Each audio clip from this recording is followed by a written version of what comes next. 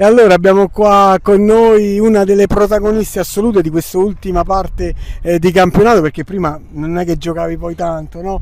E la svolta proprio eh, quando invece Luca eh, ti ha messo a fianco a Brunella e allora tutte le tue grandi caratteristiche, grandi doti eh, sono emerse. Ecco. E raccontami un po' com'è stato questo campionato. Questo campionato è stato molto intenso a livello fisico, emotivo, psicologico.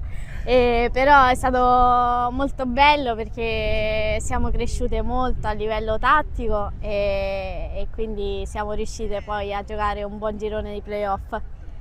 E qual è stata, senti, la, la, la, difficoltà più grande che avete incontrato in, questa, in questo campionato dove avete iniziato con un allenatore, eh, avete continuato con un altro, poi il portiere che non c'era. Qual è stata la, la, grande cosa da superare? Sicuramente ci sono stati un po' di difficoltà a livello proprio di persone all'interno della squadra, quindi ci siamo trovati senza un portiere, con una giocatrice che dovesse rimpiazzarlo e quindi quella è stata la parte più difficile, però siamo riusciti a superarlo e poi abbiamo giocato con un ottimo portiere.